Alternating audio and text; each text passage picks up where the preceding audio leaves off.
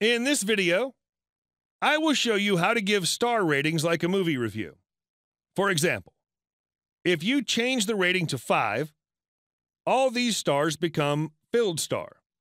However, when you give 1 or 2, only two of the stars are darkened out, and the remaining are hollow or empty.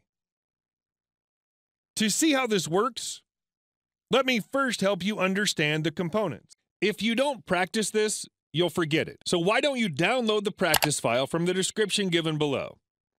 First, there's a function called CHAR, in which if I feed in the numbers 9733, it gives me a filled star. Similarly, if I give 9734, I get a hollow star. So in practice, if you type in character formula and type in 9733, you get the results which I showed you. The next part of this exercise is a function called REPT, or repetition. It says, what text do you wish to repeat? Let's say I wish to repeat this darkened star. Then I type in how many number of times do I want it to get repeated? I type in 5, and I close the parenthesis to press enter. Now, the only challenge with this is, if I type in 3, it just shows me three stars without the remaining two hollow stars. So I'm going to write a combination formula, which first finds out how many darkened star is required, followed by how many hollow stars are required.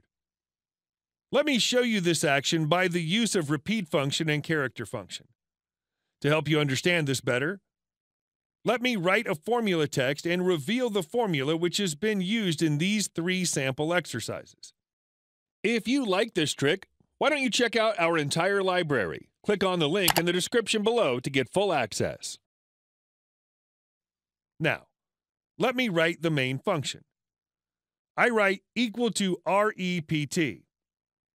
Next, I write what do I wish to repeat, character 9733, and I close the parenthesis, putting a comma, I then choose the cell which has the value of how many times the star must be repeated.